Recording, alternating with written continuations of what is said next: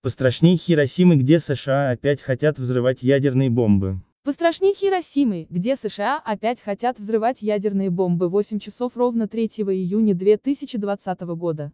cc slash National Nuclear Security Administration slash Nevada Site Office slash. Испытание термоядерного взрывного устройства в США.